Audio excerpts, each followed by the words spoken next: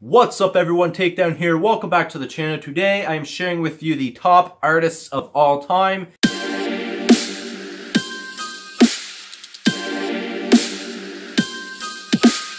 All of these are in my opinion. They're the artists I listened to for years and I've grown to love and enjoy all the music that they put out. So let's just get right into it with Avril Lavigne. You might not know I'm an Avril Lavigne fan, always have been. I really love her music. Her music is amazing. Back in the day, I used to listen to Complicated and Skater Boy, back whenever she was up and coming. Honestly, everybody loved her back then, but I just continue to love her. I love a lot of the music she put out. Of course, every artist, there's a couple songs that you might not like 100%, but you still respect her as an artist. I loved her vocals. I loved everything about her music. Her music had meaning, and that's what I really love whenever I listen to music is I hope there's meaning behind whatever songs they're doing. And her songs were always meaningful to me at least. I even recently picked up her first album from a yard sale, and I'm really happy I found it and added it to my collection because you guys know I collect CDs.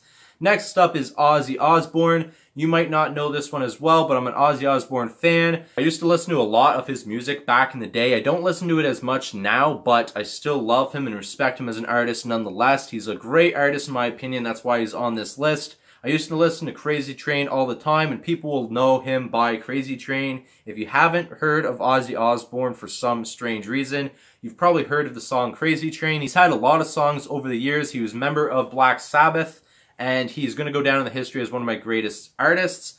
Next up, you might not be aware, but I'm a huge fan of Noah Cyrus. I love that she's releasing new music right now. I love all of her music. I love everything she's pretty much released so far. A lot of people might look at me and think I might not listen to her type of music or I never would.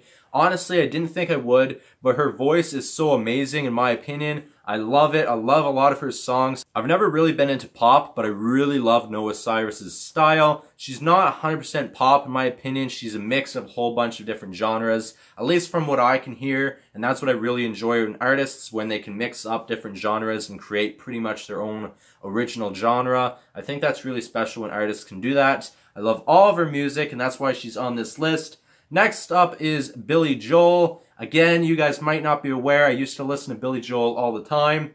I know that is kind of pop and it's a mix of other stuff, but to me, Still Rock and Roll is still one of my favorite songs of all time. I do love a lot of his music. I have the Essential of Billy Joel CD in my collection. I'm a huge fan of his. I think I always will be. It is a little bit of pop from back in the day, but to me, he makes it work and it is really special. I love his voice. I love the talent behind him. Back in high school, I had a project with my English teacher, and it was for the song We Didn't Start a Fire. We had to listen to that and watch the music video, and to me, that was a really meaningful song, even though it was really fast and jumpy, and he just rhymed different things from the decades that meant the most to him. To me, that's what it was about. We did so many projects on it of what the modern day decade would be, and we chose our favorite things to put in the songs and that, that that really grew my love and interest to Billy Joel. That's why I started to listen to more of his music because of my English teacher back in high school. So I really appreciate that.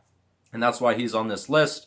Next up is Kurt Cobain. I've listened to him all the time. I've listened to him from back in the day. I do have a couple of his albums. I recently picked up one again at a yard sale. One of my favorite albums by them was Nevermind, and everybody loves that album in my opinion. They've heard at least one song off of it. Most of the time it's been Smells Like Teen Spirit because they used to play that all the time and that is the number one song by Nirvana that people know and love. Sadly, he passed away in the 90s and I think they brought that case back out because they don't think it was suicide, which I never really thought it was anyways, but that is why he's on my list. Next up is Eminem. I've listened to him since his first album. Unfortunately, that is the only album I am missing from my Eminem collection of his CDs. I have every other CD that he's ever put out in my collection other than Infinite. I am hoping to find it in the future. I've been looking for the past two years. I can't even find it anywhere online. Eminem, in my opinion, is going to go down in history as one of the top, if not the best, rapper ever, just because what he can flow whenever he's trying to rhyme his songs mean the most. I know a lot of people don't like and don't listen to a lot of his newest stuff. I'm not a fan of all of it. I know on Revival, the one song I did not like was Untouchable, but that was just me and my opinions. I still think he's a great artist nonetheless. I hope he releases more music to come. He used to be my favorite rapper in high school. He used to be the only rapper I used to listen to in high school. I used to listen to his music nonstop, on repeat. So he's on this list because I had so many memories with him, and I had so many friends of mine that used to listen to him as well, and we used to just rock when we hung out together with his songs and that, so it meant a lot to me. And last on my list is the top artist in the world, in my opinion, and that is Chester Bennington. Sadly, he passed away last year. Honestly, I love Linkin Park. I love everything Chester is about. I know he had problems, and I know that's what caused him to commit suicide, but he was a great artist, always have been. He's always going to be my top artist. He's always, always going to be my top artist. And I just love the music. I love the message they brought out in their songs. I love everything they're about. I love that they could go from screaming to really soft and back and forth. There was some rapping. There was a lot of collaborations over the years.